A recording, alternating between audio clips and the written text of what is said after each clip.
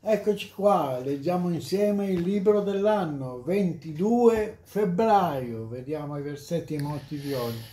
Efesini 6.1 Figli, ubbidite nel Signore ai vostri genitori. Eh, molto importante, oggi c'è un po' di, eh, di, di ribellione nei confronti dei genitori, non si capisce bene, ma la scrittura, la Bibbia è molto chiara, i figli devono ubbidire ai genitori, devono essere sottomessi ai genitori. Questo è molto chiaro e questo porterà benedizioni all'interno delle famiglie. Proverbi di oggi o motti, la ragione molto spesso ha torto. Sì, si dice avere ragione, avere torto. E chiamiamo la ragione la capacità di elaborare le informazioni, di arrivare a conclusioni ma è bello questo motto. La ragione spesso, molto spesso ha torto, quindi attenzione, dobbiamo rifarci a Dio, alla parola di Dio per la verità, per la vita, non anche alla nostra ragione naturalmente, ma la ragione deve essere sottomessa alla parola di Dio.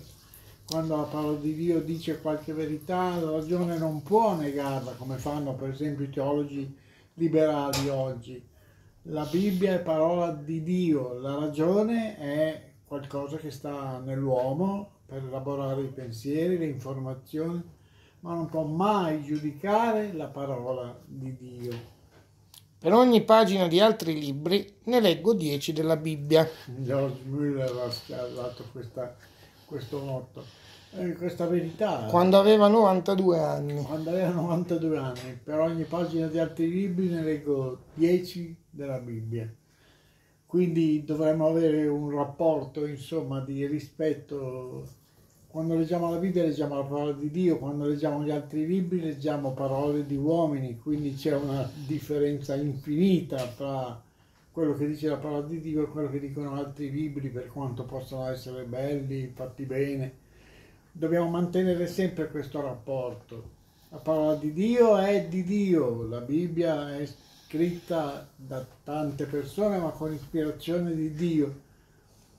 Gli altri libri sono scritti dagli uomini con i loro... quindi una, dobbiamo mantenere sempre questa, questa differenza, ricordare sempre questa differenza. La Bibbia è parola di Dio, tutti gli altri libri sono opera di uomini, mai dimenticare questa cosa. Parole, parole, parole. Sì, tutta una serie di versetti, di considerazioni sul fatto di stare attenti, moderare le parole. Non parliamo troppo, la scrittura ci esorta a non parlare troppo. Con la moltitudine di parole vengono i ragionamenti insensati, è scritto, ma leggiamo altri versetti, altri brani che ci fanno capire questo.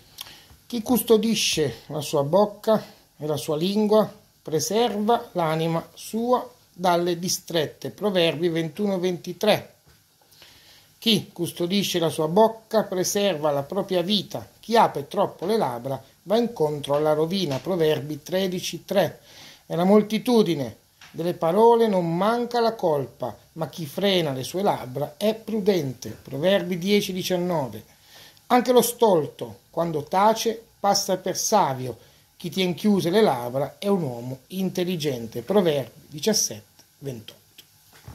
Quindi attenzione, la scrittura ci esorta a non parlare troppo, eh, sì, a moderare le parole, a misurare le parole, a pensare bene a quello che diciamo.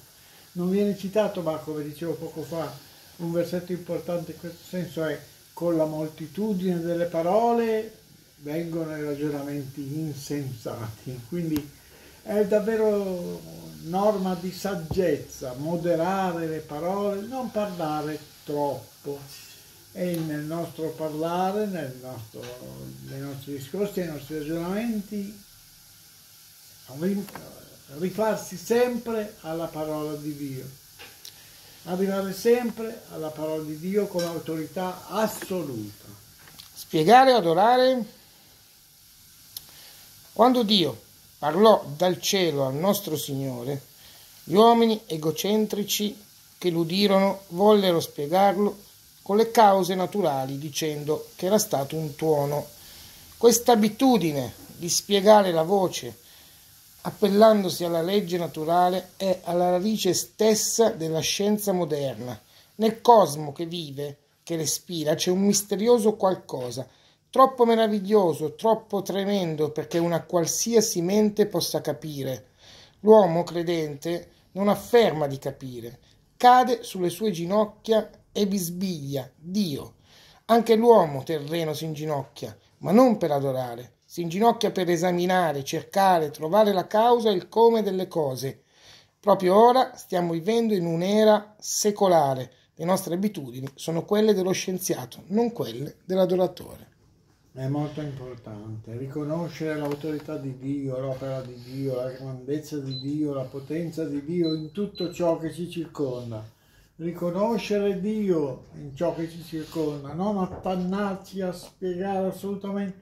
Certo, dobbiamo cercare di spiegare, ma sempre sottomessi alla parola di Dio. Soggetti di preghiera di oggi, preghiamo per la mia opera missionaria, pregare dare, andare. Sì, l'opera missionaria non è soltanto dei missionari che sono all'opera in, in tutti gli angoli del mondo. L'opera missionaria ha tre fasi. Pregare è il più importante, poi c'è dare, sostenere i missionari e andare, qualcuno che deve andare effettivamente sul posto. Quindi l'opera missionaria è pregare, dare, andare. E dobbiamo domandarci qual è la mia parte che cosa sto facendo per portare avanti quest'opera missionaria. Pregare, dare, andare. Preghiamo. Un milione di bambini cinesi lascia ogni anno la scuola per difficoltà economiche. Eh sì. Preghiamo per la missione per l'evangelizzazione dei bambini. Sì. Preghiamo per l'Iran, una delle nazioni più difficili da evangelizzare. Sì, l'Iran, l'Afghanistan, in generale tutto il mondo islamico, preghiamo moltissimo, è una situazione molto difficile per l'evangelizzazione. Preghiamo per l'Albania, per gli albanesi della Kosova e per gli albanesi in tutto il mondo. Sì, preghiamo per gli albanesi. E anche, gli stati del mondo, oggi preghiamo per la Danimarca, 5 milioni, 7 lingue. Danimarca, benissimo. Quindi ripetiamo il versetto di oggi e i motti di oggi. La ragione molto spesso ha torto. Sottomettiamo tutti i nostri ragionamenti quindi alla parola di Dio.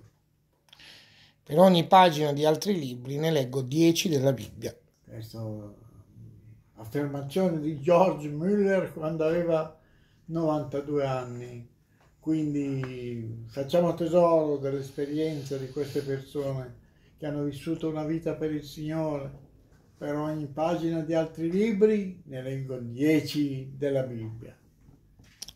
Efesini 6:1 Figli, ubbidite nel Signore ai vostri genitori.